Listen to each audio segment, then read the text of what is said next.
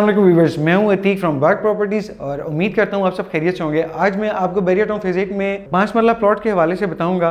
कौन से ब्लॉक्स जो हैं वो डेवलप हैं और किन ब्लॉक्स में आप प्लॉट ले सकते हैं, घर बना सकते हैं।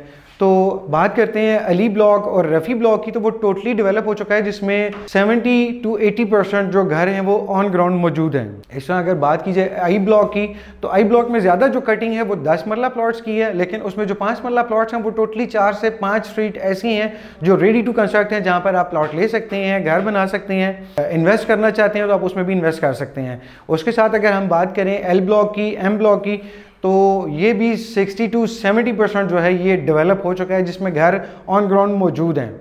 और अगर हम बात करें नॉन डेवलप की तो ऑर्चर्ड जो है, पाँच मरला, वो इस वक्त टोटली नॉन डेवलप है, लेकिन उसमें 10 से 12 गलियाँ जो हैं, वो पोजिशनेबल हैं, जहाँ पर अभी कटिंग स्टार्ट हुई है। इसके साथ अगर हम बात करते हैं रोज़ गार्डन जोन वन की तो वो टोटली डेवलप है। जिसमें पोजेशन भी है, अगर आप उसमें घर बनाना चाहते हैं तो घर भी बना सकते हैं। अगर रोज़ गार्डन जोन टू की बात करते हैं तो वो नॉन डेवलप है, जिसमें अभी टोटली 10 से 12 स्ट्रीट जो ऐसी हैं मतलब जिन पे पोजीशन है, जो भी स्टार्ट हैं।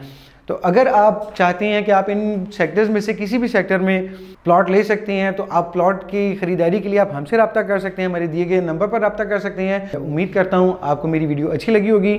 चैनल को सब्सक्राइब करना मत भूलिएगा। अपना ख्याल रखिएगा। बहुत शुक्रिया। अल्लाह हाफ़